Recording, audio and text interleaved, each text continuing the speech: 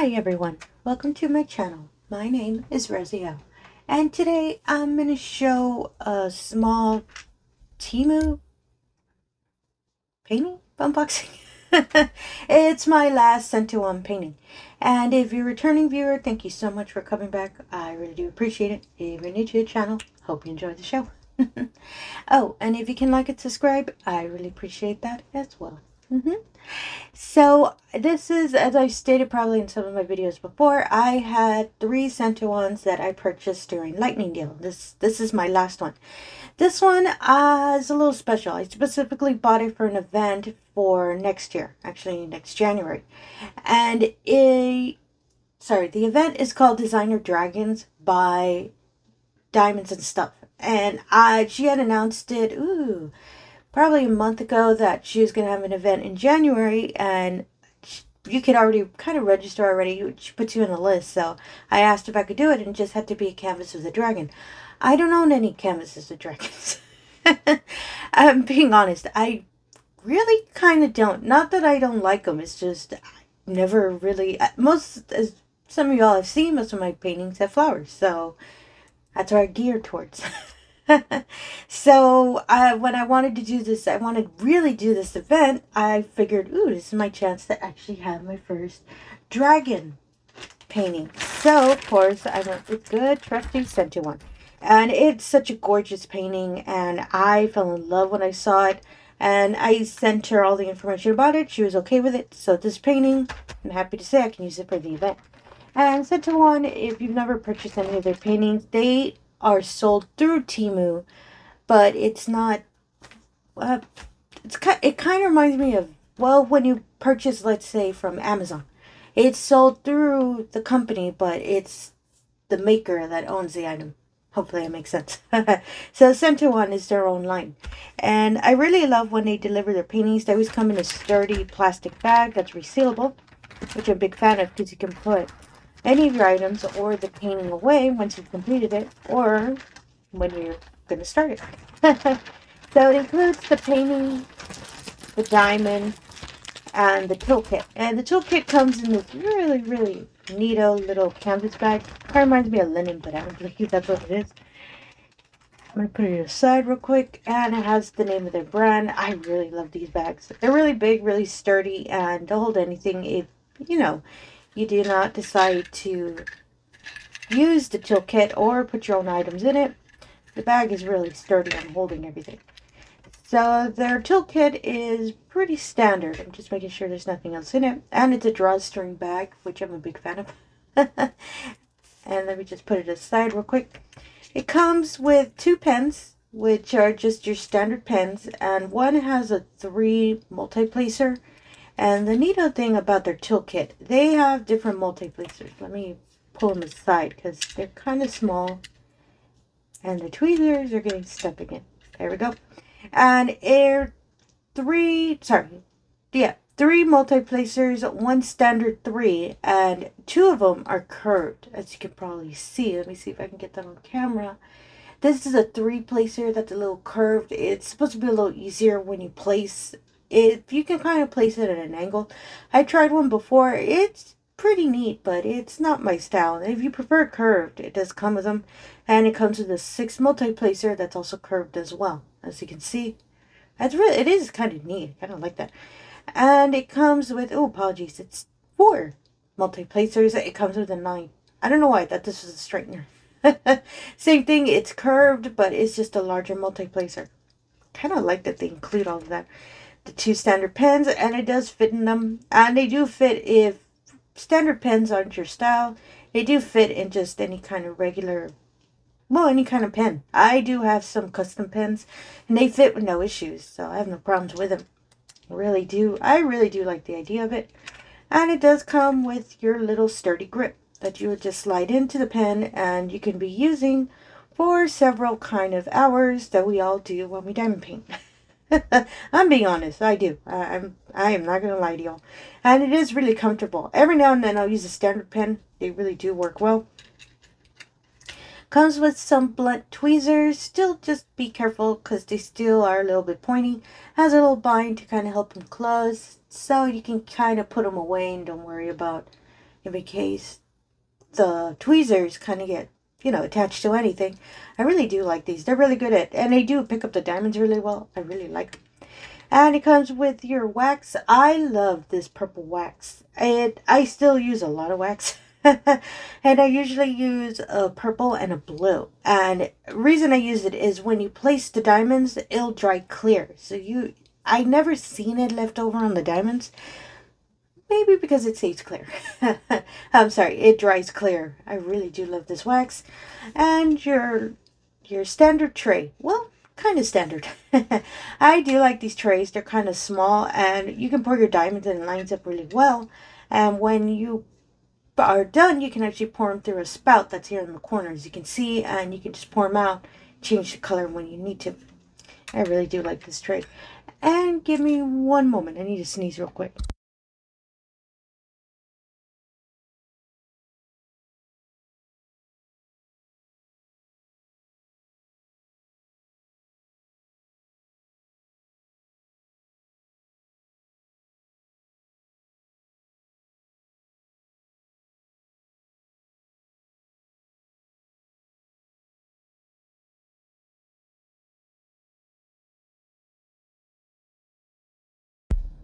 Okay, sorry about that. I had to take a sip of my tea as well. so let me just put everything back into the toolkit. I really don't want to sneeze and record it. I, I sneeze really loud, so I do not want to, you know, affect anyone's hearing when I sneeze. and let me just make sure everything's off. And there we go. Just it, and you're good. You can put it aside and use the kit when you need it. And these are the diamonds. This painting is a square. And this, my last few center ones were rounds. This is the first time I actually, actually seen, ooh, sorry about the wording, I've actually seen squares. And I really love them. I love the colors of this painting. I love the minty green. Ooh, love that color. Before that, let's get to the painting. So they always have their paintings rolled up in a foam roller. That's why it's in the shape. Really do love the foam rollers. They're really good at, you know, helping your painting rolling up with no creases. I always forget there's a tape that's on the ends. So let me get my scissors real quick and cut it. And I get really nervous when I do that. so let me see if I can kind of, ooh, be careful a bit. There we go. And it's not on the painting, do not worry. The tape is actually on the plastic covering of the painting. So in case you're wondering, ooh, did they tape it on the canvas? No, they, they tape it on the plastic. Just in case you're a little worried about that. And there we go. You can just pop them off. It's really sturdy tape too, so it really keeps the canvas really rolled up. So you just unroll it. As you can see, the little foam roller. I do love these sizes. They're kind of perfect, especially if you're just rolling a little section. It's really, really handles any, even with paintings with diamonds on them. That's why I really love these little rollers. Sorry, I got a little close to the microphone. And it does stay a little curled up. You can always just roll it back the opposite way. And it'll, it'll kind of ease it a bit. I did notice that the first time I opened one of their canvases. They're not sturdy. They're really soft. And I they do keep the shape once you've already kind of stretched it out a bit. And I really do love the canvases. They're really soft, as you can probably hear and they're really velvety. and I really like them. The edges are scalloped and punched really lightly, and that's really to help the ends of the painting from not fraying. I found that out. And I really love just a little scallop effect. And this is the painting. I said it's a wonderful blue dragon that's looking to a side, kind of giving us that little sassy look. and its tail and everything is wrapped up in the back. I fell in love, first of all, it's blue. It's a whole bunch of blue, and I just love the way the image looked. And it kind of has this little ethereal kind of effect surrounding the dragon with the light behind it. As you can see, I'm just leaving the canvas alone. It's already settling. And there are no creases. Uh, the little bumps you see are from the plastic that's on top of the canvas. That you lift it up, and I forgot about the tape. Sorry about that. Let me remove the tape real quick because it's still trying to hold onto the canvas. Let me throw that away real quick. Excuse me. And as you can see, it has a real, and it does, it's a really sturdy plastic. As you can see, the painting's not creased, and the stick is really good. All right, you press a little harder? Oh, lost a fingerprint. so, and as you can see, the creases went away. It's just the plastic that's doing that effect. It's okay. I'll lift it and kind of ease it off a bit. The canvas on top has the name of the company, Center One, up here with their little logo. And on the top right and lower left are legends of the diamonds. There are 35 diamonds to this painting. I love when they do that, when they put one on one corner and on the other. Because I've probably said before, I spin my paintings when I'm when I'm painting. It's just for me, it's a little bit easier that way. And for some information about the, uh, the painting, the canvas size is a 40 by 40 or 15.7 by 15.7 inches. The sorry, the diamonds are 35 and includes three ABs. I've seen every one of my center ones have ABs. I don't know if that's their style, but I love that they include them, and I'll make sure to show them in a moment. And this painting, it's considered a pro level because it contains 18,769 diamonds. I love that they include the number because I've been with a lot of my paintings I've been completing. I do say I save the numbers of, in theory, the numbers of diamonds that I've placed on the painting. I really do like that. I just I I love numbers. I just love math, and so I want to see what my total is at the end of the year because I've been trying to, you know, complete a lot of my paintings as soon as I can. And at the lower left is just a barcode, which I believe they use when they're doing inventory. You can disregard that. It's unless, you know, unless you have a scanning gun. my apologies. I don't think that's what it's called anymore. But a scanner. I'll call it a scanner. Sorry. Back in the day, they used to be called that. Ooh, it just kind of aged myself. so I really, really love this canvas now they see it in person. And as I said, I'm not doing anything. It's actually settling more. The ends aren't really creasing up. They're kind of easing off. And it is a sturdy canvas, as you can hear. It looks real kind of, it looks like it'd be a little flimsy. It's not. It's really sturdy. And it's really soft. And I really, really do love that. So I'm leave the painting here so we can look at its wonderful, wonderful design. Let's check out the diamond. So the thing with the legend of this painting, it does not state any kind of special kind of lettering that there's an AB. It bases it off of the DMC number, which I really do appreciate that because I do everything by DMC number. and as you can see, the diamonds are already kitted up, meaning they're already all organized and separated, and they're in numerical order based off of the legend. I really do appreciate that but I do not use refillable bags, but I know that I won't have to have, you know, a lot of trash to throw away because I still use the bags for other projects or any other things I need to hold. So I do appreciate that. But if this is your style, you're good to go. You just open and start painting automatically. Rosie, not so much. I make it more difficult. and apologies for the crinkly noise. I'm opening the packet real quick. And it's a real sturdy packet that's glued. Since I saw one of the ABs, which I believe is 3865, yes, I'm right, our lovely little white. There are three ABs, so I need to find two more of them. And, um, excuse me, one moment.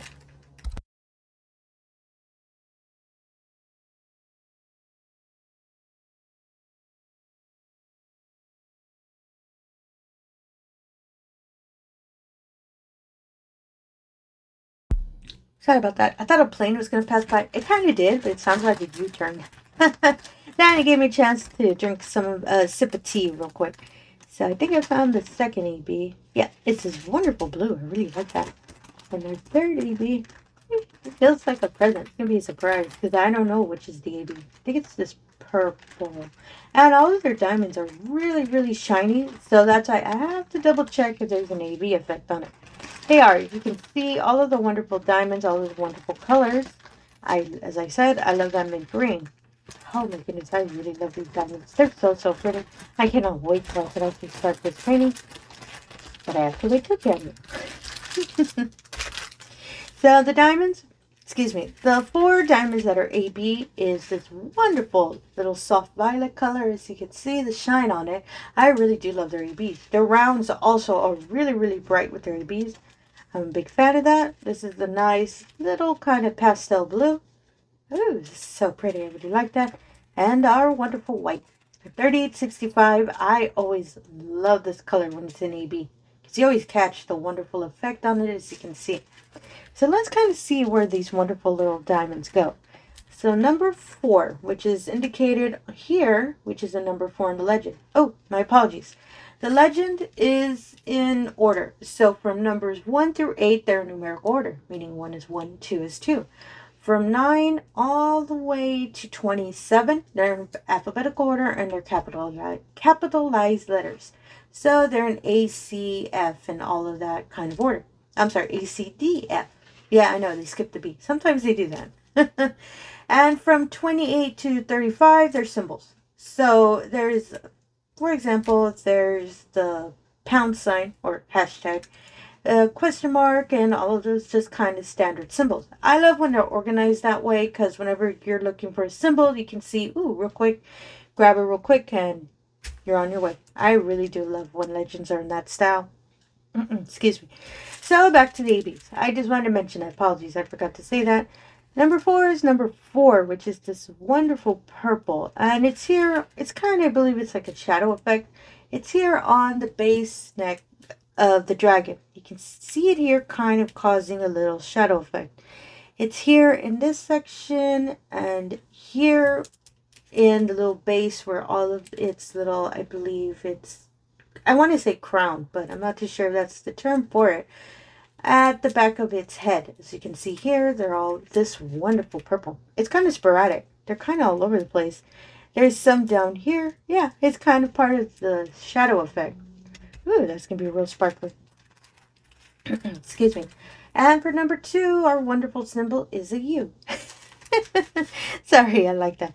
Which, since the whole painting is pretty much blue, anywhere that you see kind of like a it makes me think of the sea blue. I love calling it that. An ocean blue. That's what I usually call this color. It's highlighted here in this base part of the sky. Also, I believe it might be on the dragon as well.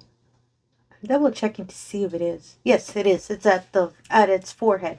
This wonderful AB would be here. Here at the bottom, some parts here in the background with the sky. Oh my goodness, as again, it's kind of all over the place. I really love that. Whew, I cannot, I cannot wait to see all the sparkle on this painting. And our lovely 35. And there's a reason why the packet is a little big. Anything you see white, that's what this color is. And the symbol for it is the left parentheses, which is the little... and it's anything with the white. Excuse me. So it's any section here, here at the base of the neck, here all over in the back so anywhere that's leading, I'm going to say it's hair, but that's not what it is. Anything leading from the back, you can see it's this wonderful AB. Oh my goodness, this painting is going to be sparkly all over the place. The diamonds are really real sparkly. Let's add some more with ABs. oh my goodness, this looks so pretty. It's all here on top as well. And there's some random spots in the sky. I believe that's why this packet is so, this, sorry, this color is so large. And I believe from all the diamonds, Oh, the little peachy color is also large as well. And this cut, that color is pretty sporadic as well. And it's highlighted here on top. Anything kind of soft pink tone, is all here at the top. I believe it's a light that's highlighting behind the dragon. Oh my goodness, I cannot wait to do this painting. And sorry, I changed my voice. I'm just really, really excited about it. And it's so pretty. It's so cute. It's so elegant. And when I first saw it, I knew it had to be my first dragon painting. And there's a small image in the lower right corner. Apologies, I forgot to to say that, which I really love because sometimes I compare when I'm painting. If I feel the color is a little off, it's real small, but I actually can see it pretty well. So I just make sure to confirm. I really do love that they include that. So that's all I wanted to show today. And as I said, this uh, this painting is for an event called Diamond Designer Dragons. Apologies. And the channel that's hosting it is Miss Wendy from Diamonds and Stuff. Uh, check out her channel. She has a lot of neat videos and especially she has more information about the event if maybe you might be interested in January. She tried this event as well. and all the information about the painting and for her channel as well, I'll put in description below, just in case you're curious and doing any kind of, or if you have a dragon canvas you've been thinking of putting up and have it wonderfully on your wall. and again, if you're a returning viewer, thank you so much for coming back. I really do appreciate it. If you're new to the channel, all I ask is if you can do the usual. If you can like and subscribe, I really appreciate that as well. Really helps put my channel out there and really allows me the opportunity to show everyone all of these wonderful diamond paintings we love to do.